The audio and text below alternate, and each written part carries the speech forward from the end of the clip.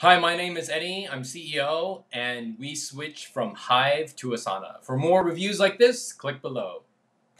The business problems that both Hive and Asana solve are within project management, meaning that what tasks do you delegate, how much detail do you provide on those tasks, what is the timeline that you provide on those tasks, who is accountable for what and when.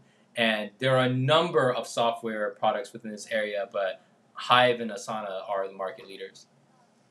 Specifically, Asana is best because I feel like it is the simpler product to use. It is easy to put down as a to-do list, but then you can get as extensive as you would like, adding as much detail, meta tags, uh, descriptions, and files. So it can go from simple to complex very easily, whereas with Hive, it requires a lot of data up front, and it just can have a lot of different moving parts when even when it's not necessary. What Hive is best for is when managing complex projects with multiple stakeholders, numerous large teams, and a lot of moving pieces with a number of critical dependencies and steps.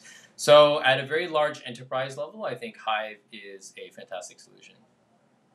Both Hive and Asana were very easy to get started with, but I would say Asana was easier to get started with.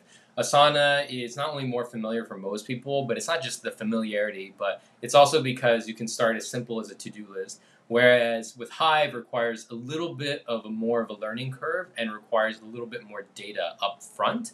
Um, so outside of just familiarity, it's just I think Hive requires a little bit more getting used to.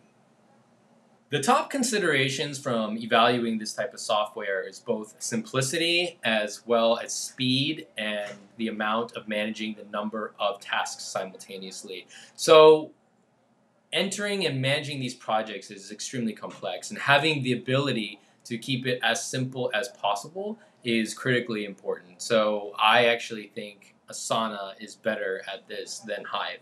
And being able to handle the complexities without and the dependencies can mean a ton of money uh, when timelines are missed. So these products fill a very important category, uh, which is uh, why there's so many products in this space.